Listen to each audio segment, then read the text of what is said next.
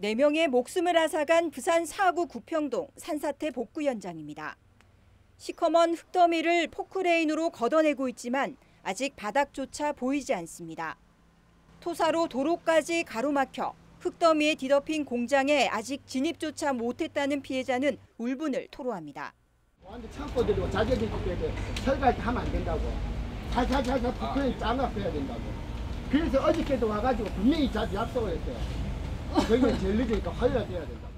공장과 주택은 물론 도로 등 기반 시설까지 산사태 재산 피해액이 눈덩이로 불어나고 있습니다. 부산시와 사구는 행정안전부에 재난안전특별교부세 320억 원 지원을 요청해 둔 상태입니다. 어, 재난안전특별교부세로 지금 318억 원을 행정안전부에 요청을 했습니다.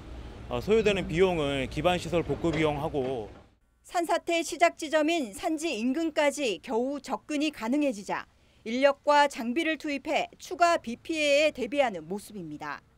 우선적으로 2차 피해 예방을 위한 응급 복구 작업을 진행하고 있지만 산사태 원인 규명에 대해서는 상당한 시일이 걸릴 것이란 지적입니다.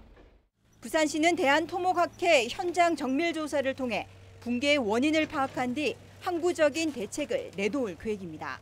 원인 조사단을 그 꾸며가지고 한 2개월 정도 전에 조사를 해가지고 그래 원인 규명이 나올 겁니다. 그 복구 방안하고 대규모라든지 그게 음, 2개월 정도 걸려야 되겠다. 왜냐하면은 그 집안이라든지 그 지질 같은 걸 전부 전체적으로 조사를 해봐야 된다라요. 우리 유관 조사가 아니고 정밀 조사를 하려니까. 더 이상 토사 유출에 의한 하류 쪽 피해 방지가 없도록 먼저 신속한 안전시설 설치가 필요해 보입니다. 티브로드 뉴스 김윤정입니다.